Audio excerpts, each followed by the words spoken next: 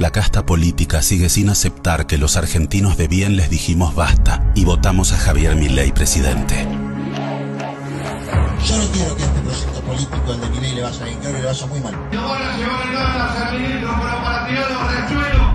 Tal es así que durante meses hicieron lo imposible para boicotear al gobierno y le negaron a Milei las herramientas necesarias para resolver el desastre que ellos mismos nos dejaron.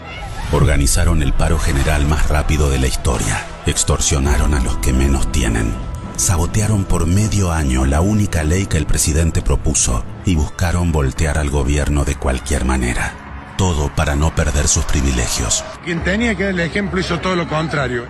Pero todo ese tiempo no se lo robaron a un presidente, sino a los argentinos que la remamos todos los días para salir adelante. ¿Sabes por qué lo hacen? Porque Javier Milei es el único presidente con la convicción de terminar con este modelo que enriquece a los políticos a costa de empobrecer a los que trabajan. El desafío es enorme, pero lo afrontaremos con convicción trabajaremos sin descanso y llegaremos a destino. Cuanto más profundos sean los cambios que busquemos, más trabas nos van a poner. Y van a hacer todo lo que puedan para que mi ley fracase, porque a ellos les va bien únicamente si al resto de los argentinos nos va mal.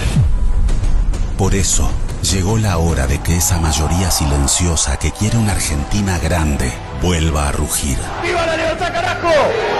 y que le demostremos a la casta política que somos millones los que queremos el cambio que el presidente Milei lidera. Te necesitamos para que la libertad avance.